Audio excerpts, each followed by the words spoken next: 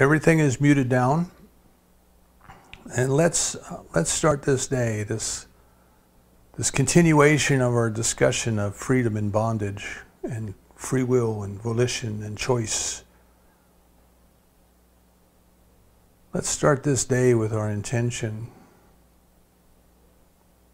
to truly explore by experimentation these very ideas we are discussing.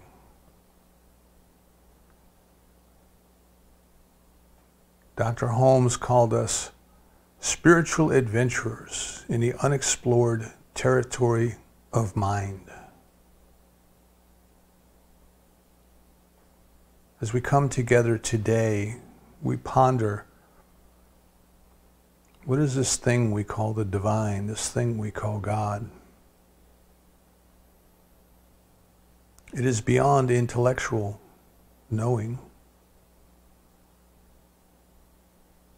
It is something we only truly embrace with our experience. The ineffableness of love. Perfect love.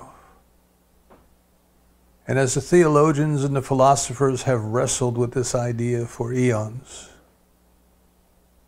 perhaps in the essence, all we can say is that the divine is. It is the I am of which Moses spoke. It is the isness and the suchness of which the Buddha spoke. But not only is it, it knows that it is. It is self aware. It is consciousness. It is pure consciousness. As the Tibetan Buddhists say, consciousness aware of itself.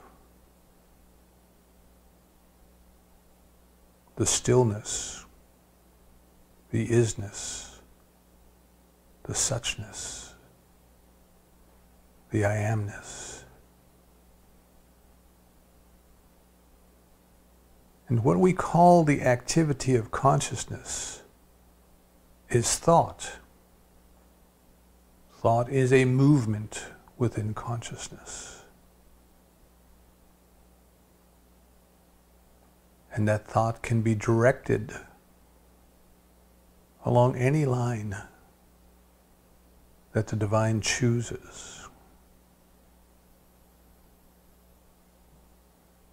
But as it thinks, something happens, something acts upon that thought.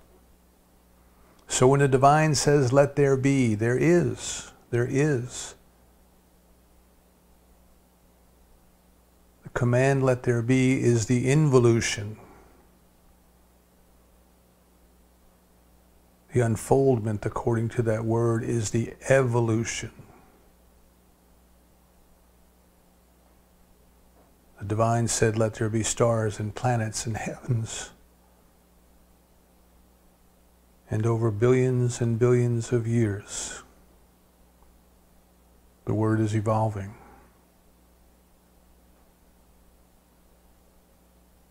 We recognize that this same power that responds to the word of the divine responds to us because we are made of the divine by the divine.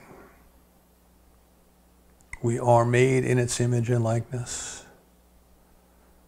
And as Isaiah said, our words do not return unto us void.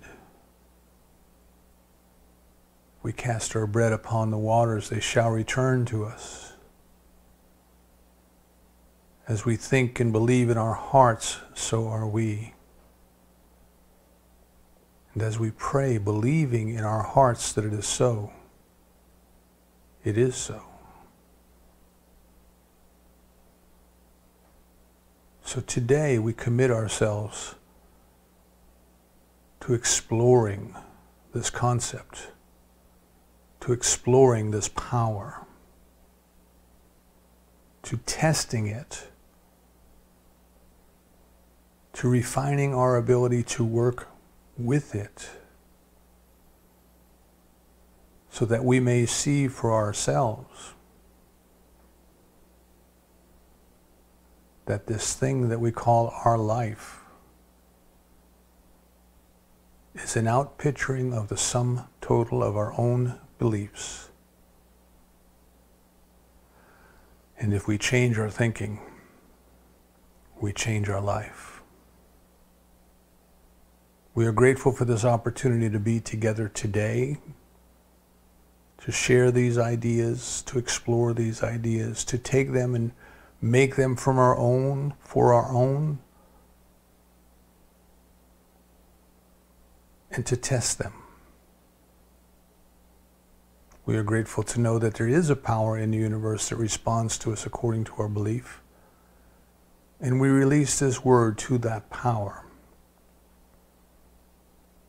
knowing that this word, this word for our greater experience, our conscious awareness of the activity of the law in our lives, the law of mind, the law that responds to us, the law of correspondence, is unfolding right now.